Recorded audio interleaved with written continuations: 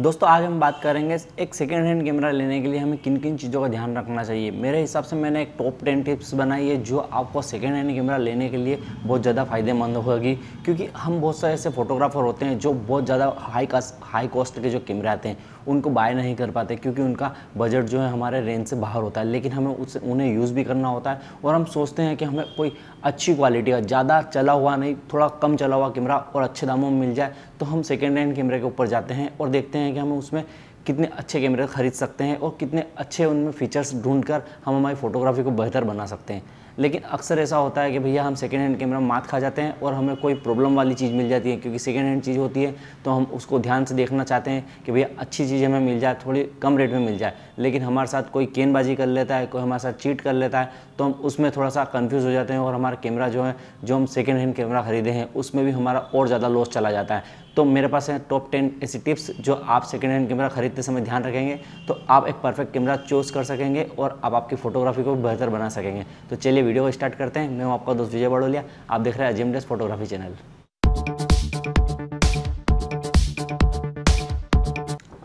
दोस्तों, सबसे पहले मैं आपको बताऊँगा कि आप जब भी सेकेंड हैंड कैमरा खरीदें तो थोड़ा अच्छी क्वालिटी का खरीदें, एकदम घटिया कैमरा ना खरीदे, एकदम मतलब कि जो ज़्यादा ही लो कॉस्ट का हो गया हो, वैसा ना खरीदे। थोड़ी बहुत प्राइस गिरे वैसा ही कैमरा खरीदे सेकेंड हैंड तो ज़्यादा बेहतर होगा। बिल्कुल लो कैटेगरी का खरीदने से आपको चीज़ खराबी मिलेगी। वह कभी भी किसी भी समय पर बंद हो सकता है या कुछ भी इसमें प्रॉब्लम आ सकती है। तो सबसे पहली जो टिप्स है वो मैं आपको बताऊँगा। जब भी आप कोई कैमरा खरीदे, जैसे कि मेरे पास अभी फ़िलहाल ये कैमरा पड़ा है, लेकिन मैं इसके थ्रू आपको बता दूँगा कि भैया किस तरह से हम कैमरे को चेक कर सकते हैं। तो आप सबसे पहले चेक करें कि जब आपने कैमरा सेकेंड हैंड खरीदना ही है। तो आप फ़र्स्ट ओनर से पूछे कि आपके पास इसका बिल है तो बिल से आप उसका सीरियल नंबर चेक कीजिएगा कि भैया बिल के साथ साथ का जो हमारे कैमरे के बॉडी के नीचे लिखा हुआ है सीरियल नंबर वो मैच कीजिएगा। लेंस का सीरियल नंबर लिखा हुआ है वो मैच कीजिएगा। इससे आपको क्लियर हो जाएगा कि आपका लेंस और आपकी बॉडी जो है दोनों एक साथ खरीदी हुई है, न कि ऐसा कि भैया हमारी बॉडी थोड़ी नहीं है और लेंस इसमें पुराना लगा दिया, या फिर हमारा लेंस नया है और इसमें बॉडी पुरानी लगा दी है किसी अदर कैमरे की और इनको कॉम्बिनेशन करके बेच रहे हैं। कई बार ऐसा होता है कि भैया हमको चेंज करना पड़ता है, लेकिन वह दोनों अच्छे प्रॉपर कंडीशन से काम कर रहे हैं या नहीं कर रहे हैं, उसके लिए मैं आगे आपको बताने वाला हूँ कि किस तरह से हम उसको चेक कर सकते हैं। तो इन दोनों में हमको सीरियल नंबर चेक कर लेना है, उसके बाद हमें फोटोग्राफी किस तरह से करना है, वो हम आगे समझते हैं। दोस्तों सीरियल नंबर चेक करने के बाद आपकी जो सेकंड टिप्स है, उसको हम अप्लाई करेंगे कुछ इस तरह से कि हमारे कैमरा बॉडी का शटर काउंट शटर काउंट के ऊपर मैंने एक अच्छा सा वीडियो बना रखा है, आप उसे चेक कीजिएगा और उसका लिंक भी मैं आपको डिस्क्रिप्शन में दूँगा। आई बटन पर आपको लिंक मिल जाएगा तो वहाँ से आप जाकर देख सकते हैं कि कैमरे का शटर काउंट किस तरह से चेक किया जाता है। इससे फ़ायदा यह होगा कि आपको थोड़ा सा आइडिया हो जाएगा कि भैया फ़ोटो कितने खींच चुका है हमारा कैमरा बॉडी और इसकी लाइफ कितनी है कैमरा बॉडी के साथ में कि भैया इतना शटर तो इसने काउंट कर लिया है, इतना शटर के फ़ोटो तो इसने क्लिक कर दिए हैं, अब कितना और बचे हैं? ऐसा नहीं है शटर काउंट पूरा हो जाने के बाद कैमरा नहीं चलता। यदि आपकी केयरिंग अच्छी कैमरे के साथ में तो वह बहुत सारे photo double triple shutter count के भी खींच सकता है, जितनी उसकी लिमिट है, उससे ज़्यादा भी खींच सकता है, ठीक है ना? तो दोस्तों, ये चीज़ भी आपको चेक कर लेना चाहिए शटर काउंट ताकि आपको फ़ायदा अच्छे से मिल सके और आप उसका उचित मूल्य लगा सकें।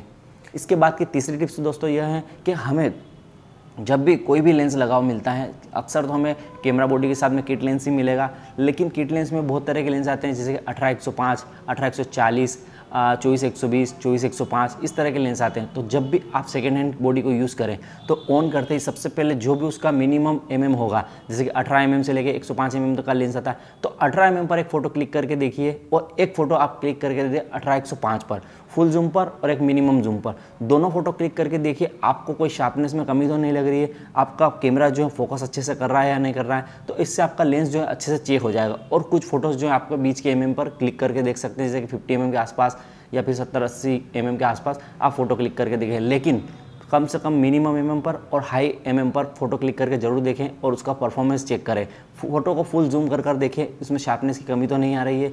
तो आपका लेंस जो है परफेक्ट है और आपका कैमरा बॉडी जो है वो भी परफेक्ट है। इसके बाद के नेक्स्ट टिप्स पर चलते हैं हम। इसके बाद दोस्तों, आपको लेंस को ऑटो फोकस पर तो चेक कर लिया आपने, उसके बाद manual focus auto focus manual focus का स्विच आपको यहाँ आगे मिल जाएगा। इन दोनों को आपको क्लिक करके देखना है आपको मैनुअल फोकस पर भी क्लिक करके देखना है और आपको रिंग को यूज़ करके देखना है क्योंकि कैमरा में जूम रिंग के अलावा आपको मैनुअल फोकसिंग रिंग भी मिलता है तो उसको भी आप प्रॉपर चेक करके देखें तो ज़्यादा अच्छा फ़ायदा मिलेगा, क्योंकि यह रिंग जो है हमारे वीडियो शूट करने के बहुत ज़्यादा काम में आती है तो इस रिंग को भी आप चेक करिएगा। जब आपका लेंस जो है मैनुअल हो जाएगा, तब आप ये रिंग प्रॉपर काम कर रही है या नहीं कर रही इसको भी आपको अच्छे तरीके से चेक कर लेना है। उसके बाद दोस्तों आपको वीडियो को लाइव मोड पर लेना है और आपको आपकी ट्रैकिंग चेक करना है। ट्रैकिंग चेक करने से आपको क्लिक कर कर देखना है स्क्रीन पर। यदि आपका कैमरा टच मिलता है आपको तो आप टच स्क्रीन पर क्लिक करके देखिएगा तो आपको पता चल जाएगा आपका लेंस प्रॉपर चेक चल रहा है या नहीं चल रहा है। ट्रैकिंग आपका सब्जेक्ट को ले रहा है या नहीं ले रहा है। फोकस, आउट फोकस चीज़ को क्लिक करके दीजिए, फोकस में एकदम से जा रहा है या नहीं जा रहा है। तो इससे आपका लेंस जो है प्रॉपर तरीके से चेक हो पाएगा। तो इस चीज़ का भी आप विशेष ध्यान रखें। इसके बाद दोस्तों, आपको लेंस को आपकी कैमरा बॉडी से निकाल लेना है। कैमरा बॉडी से निकाल कर आपको दोनों तरफ़ से चेक करना है। आपको कैमरा बॉडी को भी चेक करना है। इसके अंदर का सेंसर जो है वह क्लीन है या नहीं है, इस पर थोड़ी बहुत डस्ट है तो कोई बात नहीं, आपके फ़ोटो पर तो नहीं आ रही है। लेकिन विशेष आपको लेंस को देखना होगा। लेंस के आप इस साइड में भी देखिए कि इसमें डस्ट तो नहीं है, कहीं फंगस तो नहीं लगा बिल्कुल क्लियर हमें नज़र आ रहा है नहीं आ रहा है। इसमें आप ऐसे देखेंगे तो आपको अच्छे से नज़र आ जाएगा कि भैया आपका कैमरा बॉडी कैमरा लेंस के अंदर जो है डस्ट है या नहीं है। इसको आप जूम टेलीवाइट भी करके चेक कर सकते हैं। जो भी कोई डस्ट होगी तो वो आप सामने से पकड़ा जाएगी और यहाँ से आप यूवी फ़िल्टर या एंटी फ़िल्टर जो भी आपके लेंस पर लगा हुआ उसे भी निकाल लीजिए, उसके बाद इसको अच्छे से एनालाइज कीजिए। यदि छोटा मोटा डस्ट है तो कोई बात नहीं, लेकिन अगर ज़्यादा फंगस लगा हुआ है, ज़्यादा बड़ा डस्ट है तो वो आपके फ़ोटो के ऊपर इफ़ेक्ट कर सकता है और आपकी जो है सेकेंड हैंड कैमरा खरीदने की ख्वाहिश अधूरी रख सकता है, क्योंकि फिर वो क्वालिटी उतनी नहीं दे पाएगा। तो आप लेंस को इस तरह से भी अच्छे से चेक कर सकते हैं, उसके बाद ही आप कैमरे का खरीदने का निर्णय करें।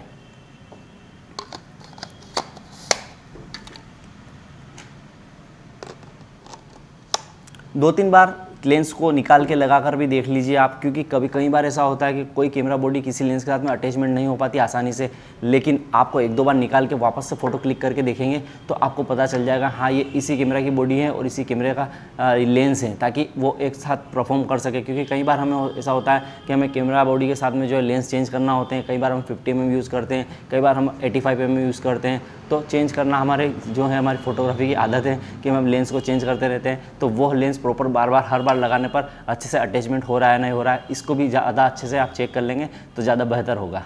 दोस्तों, इसके बाद आपको कैमरा बॉडी के सारे बटन्स जितने भी बटन हैं, वो अच्छे से काम कर रहे हैं या नहीं कर रहे हैं, ऐसा तो नहीं कि कोई बटन को हमें ज़्यादा प्रेस करना पड़ रहा है, तब जाके चल रहा है। नॉर्मली प्रेस करने पर अगर अच्छे से वर्क कर रहा है तो कोई दिक्कत नहीं है, लेकिन कोई अगर ज़्यादा बटन ज़्यादा ज़ोर से प्रेस करना, ज़्यादा प्रेशर देने के बाद प्रेस कर रहा है या फिर वर्क कर रहा है तो फिर वो कैमरा बॉडी में आपको फिर से प्रॉब्लम आ सकता है और उसको आपको सर्विस कराना पड़ सकता है। तो आप सारे बटन को भी अच्छे से चेक करेंगे तो ज़्यादा अच्छा रहेगा। कैमरा बॉडी के सारे फीचर्स को अच्छे से देख लें। बाकी आप बाहर से कंडीशन तो ऑलरेडी देख चुके होते हैं, तभी आप कैमरे को खरीदने का निर्णय करते हैं, क्योंकि स्क्रेच वगैरह तो आना हमारे से भी हो सकता है हमारे कैमरे पर तो आप उसका प्रोटेक्शन ले सकते हैं, लेकिन आप सारे बटन को चेक करेंगे तो आपको कैमरा बॉडी से नो डाउट सब क्लियर हो जाएँगे। और कैमरा बॉडी को आपको यूज़ करने से पहले मैं एक चीज़ बताना भूल गया था, वो आपको शेयर कर लेता हूँ कि आप कैमरा को यूज़ करने से पहले कैमरा को रिसेट करें, उसके बाद कैमरा को चेक करेंगे तो ज़्यादा अच्छी आपको बेहतर इसमें चेकिंग की सुविधा मिल पाएगी कि आप अच्छे से इसको यूज़ कर पा रहे हैं और अच्छे से इसको समझ पा रहे हैं कि हमारा कैमरा बॉडी कितना ओल्ड है और कितना नया है और कितने किस तरीके से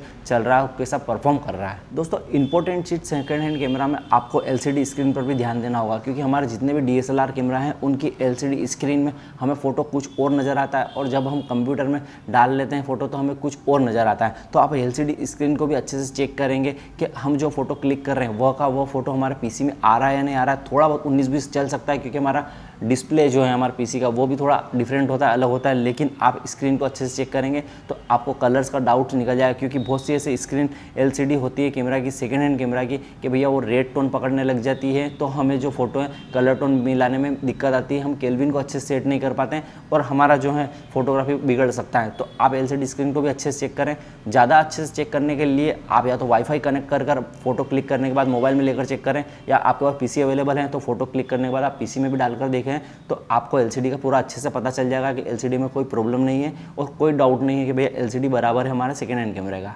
दोस्तों नेक्स्ट टिप्स आपके लिए ये होगी कि आप शटर स्पीड और अपर्चर स्पीड इसके लिए हमें हर डीएसएलआर कैमरा में लगभग लगभग दो रिंगें मिल चुकी है। इंट्री लेवल में हमें एक ही रिंग मिलती है, लेकिन इंट्री लेवल से ऊपर जैसे हम जाते हैं तो हमें दो रिंग मिल जाती है शटर के लिए अलग और अपर्चर के लिए अलग। तो ये रिंग अच्छे से काम कर रही हैं नहीं, इनको भी अच्छे से चेक करना चाहिए। इनमें रबड़ ग्रिप लगा होता है, वह रबड़ ग्रिप लूज़ तो नहीं हो गया। अगर लूज़ हो गया है तो वह कैमरा अच्छे खासे पचास हज़ार क्लिक के ऊपर ले चुका है, तभी उसका रबड़ क्लिक जो है लूज़ हो गया है। तो इससे आप अंदाज़ा लगा सकते हैं कैमरा जो है रफ एंड टफ यूज़ किया गया है और ग्रिप जो है उसका ढीला हो चुका है। तो आप इन चीज़ों को भी माइंड में रख लेंगे तो आपको सेकेंड हैंड कैमरा खरीदने में ज़्यादा सुविधा होगी। क्योंकि बहुत से ऐसे कैमरे होते हैं जिनका शटर काउंट भी जो है रिसेट कर दिया जाता है तो हमें उसका ज्ञान नहीं हो पाता अगर कंडीशन अच्छी है तो आप अच्छा ले सकते हैं कैमरा परफॉर्म अच्छा कर रहा है तो कोई दिक्कत नहीं, लेकिन उसके सारे फीचर्स आपको चेक करना बहुत ज़्यादा ज़रूरी है। तो shutter speed and aperture speed की जो हमारी रिंग है, उसके ग्रिप को भी आप अच्छे से माइंड में रखेंगे तो ज़्यादा अच्छा रहेगा। दोस्तों नेक्स्ट टिप जो है वो बहुत ज़्यादा इंपॉर्टेंट है कैमरा बॉडी की जो हमारी बैटरी है, वो बैटरी ओरिजिनल है या नहीं इसको भी आप चेक करें डुप्लीकेट बैटरी बहुत सारी मिल जाती है। उससे हमारे कैमरे का परफॉर्मेंस जो है फ़ोटो क्लिक करने की क्षमता कम हो जाती है। तो आप चेक करें कि बैटरी ओरिजिनल मिल रहा है या नहीं और इसके साथ साथ में आपका बैटरी चार्जर भी जो है, वो ओरिजिनल है या नहीं, वो भी ध्यान में रखें। क्योंकि बैटरी अगर ओरिजिनल होगी और आपका चार्जर डुप्लीकेट होगा तो वह चार्ज पूरा कंप्लीट नहीं कर पाएगा। यदि आपकी बैटरी डुप्लीकेट और चार्जर ओरिजिनल भी है तो आपकी बैटरी अच्छे से परफॉर्म नहीं कर पाएगी। तो इन चीज़ों को भी आप चेक कर लेंगे सेकेंड हैंड कैमरा में तो आप उसका उचित मूल्य तय कर पाएँगे। आप जब भी ओल्ड कैमरा खरीदें तो आपको बिल ना मिले। हो सकता है कि टू ईयर के वारंटी हमें मिलती है कंपनी से तो वो एक्सपायर हो चुकी होती है आउट ऑफ़ वारंटी कैमरा हो चुका होता है। तो आप जिस भी किसी डीलर से ख़रीदें, किसी भी मित्र से ख़रीदें तो एक बार आपको कैमरा बॉडी का और लेंस का सीरियल नंबर नोट करवा लेना है, ताकि उससे हमें पता चल जाए कि भैया कैमरा चोरी का तो नहीं है। बाई चांस किसी मित्र ने किसी को बेचा हो, दूसरी पार्टी तीसरी पार्टी तक, और हमारे पास चोरी का कैमरा आ गया तो हम उसमें फंसेंगे नहीं। हम क्लियर कर सकते हैं उससे कि भैया ये एंट्री हमने करवा रखी है, इस बॉडी के साथ में सीरियल नंबर की और लेंस की। मैंने यहाँ से ख़रीदा था और यहाँ से मैंने पे करके ख़रीदा है। मैंने इसका नगद कैश पैसा पेमेंट कर कर कैमरा ख़रीदा है, चोरी का हमारे पास नहीं आया हुआ है तो इससे आपको सुविधा मिलेगी। यदि आपको बिल भी नहीं मिलता है तो आप ये चीज़ यूज़ करेंगे तो आपको सेकेंड हैंड कैमरा खरीदने में बहुत ज़्यादा सुविधा रहेगी और आप किसी भी प्रॉब्लम से जो है बहुत कोसों दूर रहेंगे और ज़्यादा अच्छे से आप आपके कैमरे का और अपने बिज़नेस को इम्प्रूवमेंट कर पाएँगे।